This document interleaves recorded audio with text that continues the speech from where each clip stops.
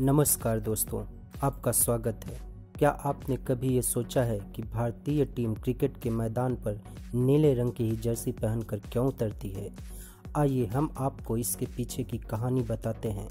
1980 के दशक के दौरान भारतीय टीम ने चमकीले नीले लाइट ब्लू रंग को अपने प्राइमरी रंग व पीले रंग को सेकेंडरी रंग के रूप में चुना।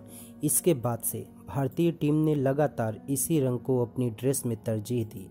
बहरहाल, अगर इन सालों में भारतीय टीम के ट्रेड के पैटर्न पर नज़रें दौड़ाएँ तो हर ट्रेड में नीला रंग मुख्य रंग के रूप में जर्सी में रहा है। वहीं पीले रंग का भी भारतीय टीम की जर्सी के साथ 2008 तक कोई न कोई कनेक्शन ज़रूर रहा है।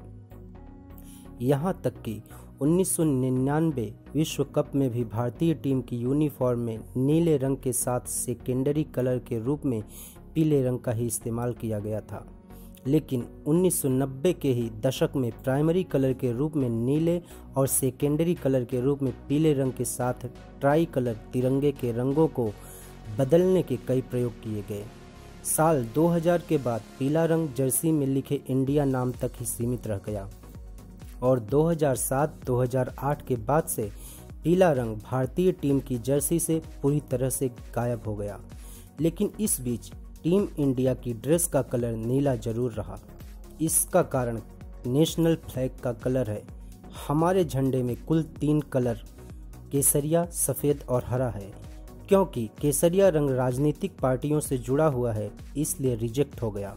सफ़ेद रंग से मैदान में विजुअल इम्पैक्ट होता है और हरा रंग पहले से ही पाकिस्तान इस्तेमाल कर चुका था।